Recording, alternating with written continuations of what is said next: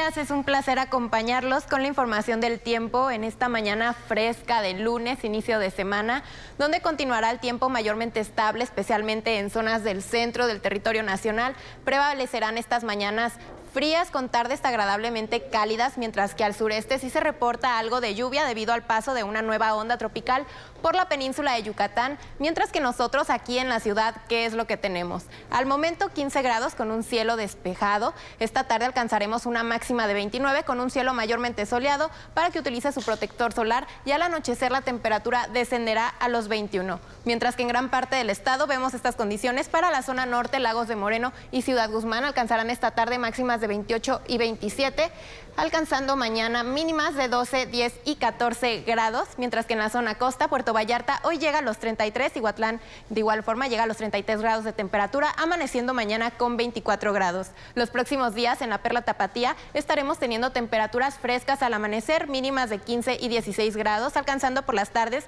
máximas de 28 y 29, esperando algo de lluvia al día jueves, mientras que en Puerto Vallarta, Jalisco, estarán teniendo temperaturas mínimas de 23 grados, alcanzando por las tardes máximas de 32. Hay más información, espero que tengas un excelente día.